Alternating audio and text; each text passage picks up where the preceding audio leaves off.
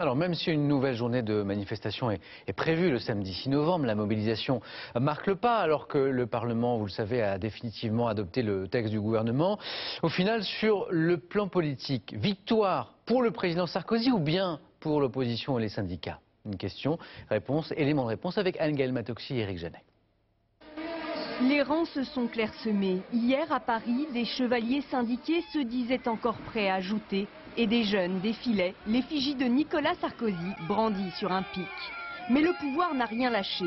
Aux yeux de son électorat, le président sort même renforcé de la tempête avec l'image du capitaine qui a su tenir le cap.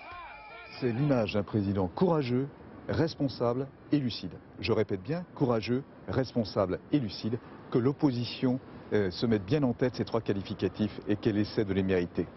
On ne gagne pas contre les Français. C'est un slogan sur une pancarte, c'est aussi la réponse de l'opposition. En passant en force, Nicolas Sarkozy a, selon la gauche, braqué l'opinion et en paiera le prix dans les urnes. Le MEDEF peut compter sur lui, les Français pas, mais le MEDEF peut compter sur lui. Ce qu'on demande au président de la République, c'est pas de dresser les Français contre les uns contre les autres, c'est pas d'appliquer à la lettre le programme du MEDEF, c'est de servir l'intérêt général. La classe ouvrière et les employés sont de retour dans la vie sociale et politique de notre patrie républicaine. Voilà ce qui va tout changer, parce que dorénavant, ce sont les revendications des travailleurs qui vont marcher devant. Les syndicats ont de nouveau appelé à battre le pavé le 6 novembre. Nicolas Sarkozy, lui, peaufine sa nouvelle étape, le remaniement ministériel.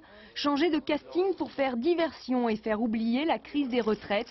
Encore faut-il que les Français suivent, des Français qui restent avant tout préoccupés par l'emploi et le pouvoir d'achat. Je vous propose de revenir au.